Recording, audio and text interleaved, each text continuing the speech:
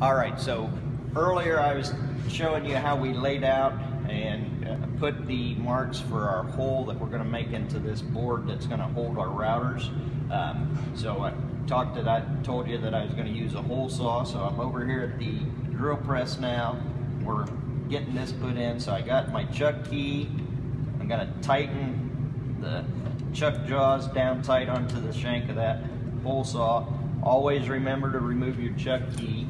Now, we had looked at that chart earlier and we had seen that it was 350 RPM was the recommended RPM for this hole saw. We look up here and I only have two RPM ranges, 300 RPM and 390 RPM. So um, Remember on the softwoods, it gave us a recommendation of 500 RPM. On the uh, hardwoods, it gave us a recommendation of 350. So I think I'll probably be okay to go and select the 390. So I'll undo the locking knob, pull this in.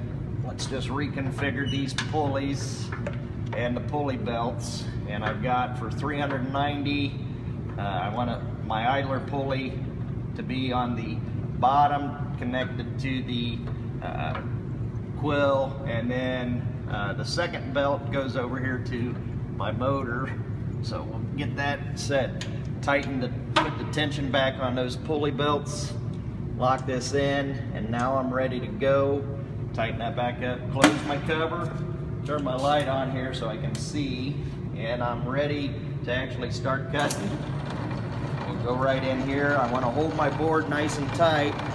Now with this hole saw, as I cut this hole, I'm only going to go about halfway down because I don't want to break through.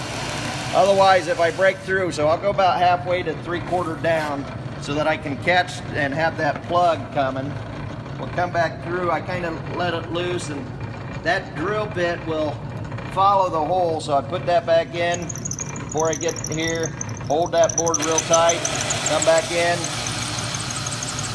We'll cut it all the way. Now that hole, we're getting close.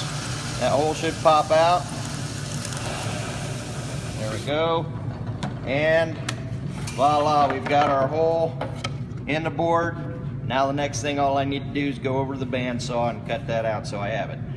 That's how we do it using the drill press and a hole saw. Thanks for watching.